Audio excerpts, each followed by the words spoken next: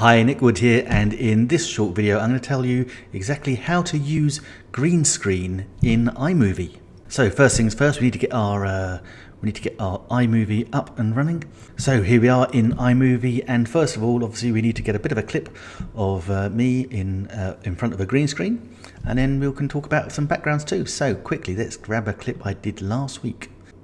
Yeah, so here's one that I made last week. So as you can see in the picture, it's just me in front of a green screen, which is just basically a green cloth. If you look closely, it doesn't even have to be ironed. You know, it's not the it's not the most taut cloth, and I'll show you how we correct that when we've got it into the old uh, iMovie. So select that one and I'll also select a background. There's a couple of options on backgrounds, but I'll, I'll select one for you.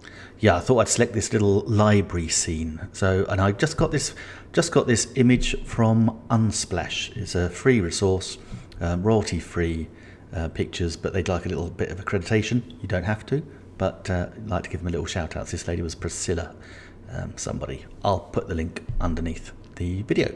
So now we have our two parts. So first of all, in order to have a green screen, we actually need to have the backdrop. So you have backgrounds up here. We click on those. So these are the, the pre-loaded backgrounds from uh, iMovie. They're all there. So you've got underwater. If I go across them, then you'll see, there you go. So you'll see blob in the screen to your right. Underwater, gradient, so they're already there, but actually for this one I'm going to start with uh, I'm going to start with my picture of the library because in this film I'm being interviewed. As you can see, the, this clip is only four seconds long, so it needs to be bigger, and also we don't want it going in and out. So clip on the crop button, and it's defaulted to a Ken Burns effect, which brings pictures in or out depending which way you want to, to do it. Um, but I'm going to change that to uh, fit for a minute. So that will keep it steady all the way through. Uh, and also because it's only four seconds and my video is four minutes, if I just use this, reduce the settings down a touch, and then I can just drag. As you see, it tells me how many minutes that clip will be the background for. So I want it to be about 48, I think, roughly. So there we have that in our timeline, in our playhead. And then we want to drop our green screen video above it. Literally, just drag and drop. That's what I love about iMovie, it's just drag and drop. Okay, so now we have that's our green screen. so, and it doesn't, just so you know, so, so this is the, the button you want to to press video overlay settings. And in that you've got cutaway or green blue screen split screen. There you go. Uh, that sort of thing. Picture in a picture. Um, so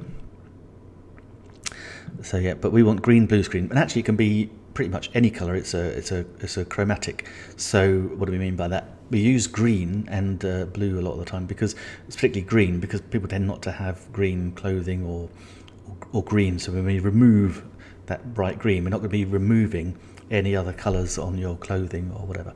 So that's what we're going to remove and then it will be a, a clear screen behind us. So just click on that button. And as you can see, there's our little picture of the library behind me, but it's a bit blurred there, isn't it? So, but as I said, we can clean it up by clicking on the rubber and literally just click where it's blurred and suddenly, boom, no problem. You got that blurring out of the way. Um, you can play around with the softness, um, but actually I, I, tend to keep it as is. Um, but also, obviously, we haven't. Uh, I wasn't. I didn't have the whole green screen in the shot, so I need to do a bit of cropping. So we have the little crop tool up here, cropping, and I'm going to crop to fill. So I'm just going to drag that in. I'm going to crop it so that everything is within the black of the there you go within the black of the of the green screen. Bring it down a touch. Hit enter and there you go. There I am in my green screen. Oh. Unfortunately. There you go I'm busy talking so uh, uh, just knock the audio off. So And there I am in my library, quite happy. There you go. And that's how we use a green screen. But as I say, we could uh, we could change the background. So now we've got that, we can leap into backgrounds. Let's use this. Uh, I'm not sure how effective that what the blob will be doing behind me. Let's use underwater. Um, so let's go back there. Underwater, and again, just drag and drop that into the timeline and it asks you replace it, replace from the start, replace from the end, or insert it. So I'm going to replace it from the start, and boom, there you go. The entire thing has just been replaced, and I'm now being interviewed in the watery depths of uh, of somewhere. So you know, it just makes a little bit makes it a bit different, and uh, and it keeps it interesting. So that is it. That is how we use a green screen. Hope you found that uh, informational, educational. Obviously, if you like this, that would be amazing. If you can subscribe to the channel, I'll be doing more uh, iMovie training in the coming weeks.